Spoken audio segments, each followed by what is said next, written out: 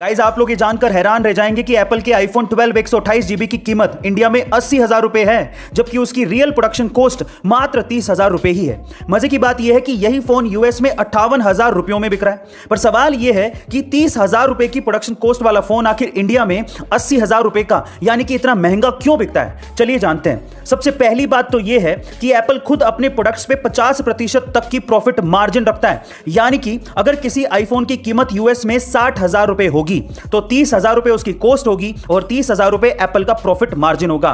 लेकिन इसके अलावा, जब ये फ़ोन इंडिया में आता है तो उस पर अट्ठारह प्रतिशत की जीएसटी और तीस प्रतिशत की इंपोर्ट ड्यूटी लग जाती है। और इसी वजह से तीस हज़ार रुपए का फ़ोन अस्सी हज़ार रुपए में बिकता है। गाइस यही इसके पीछे का रीजन है। क्या आपको इसके पहले तक रीजन पता था? और अगर नहीं तो कमेंट सेक्शन में ज़रूर लिखेगा और ऐसे अमेजिंग वीडियोस के लिए शेयर सब्सक्राइब एंड लाइक मिलता है अगली वीडियो में।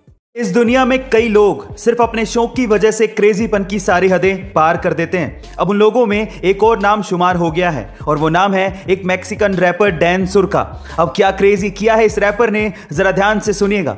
इस रैपर ने अपने सिर के सारे नेचुरल बालों को हटवा दिया है, और उसकी जगह पे अपनी खोपड़ी में सोने की चैनों को इम्प्लांट करवा लिया है। ओह माई गॉड गाइज़ इस रैपर का कहना है कि वो कुछ क्रेजी और यूनिक करना चाहते थे, इस वजह से उन्होंने ऐसा किया। उनका यह भी क्लेम क्लेम है कि पूरी दुनिया में वो पहले ऐसे रैपर हैं जिन्होंने ऐसा करवाया है। गाइस इनके क्रेजीपन के बारे में आपका क्या ख्याल है? कमेंट सेक्शन में ज़रूर लिखेगा और ऐसे अमेजिंग वीडियोस के लिए शेयर सब्सक्राइब एंड लाइक मिलता है अगली वीडियो में।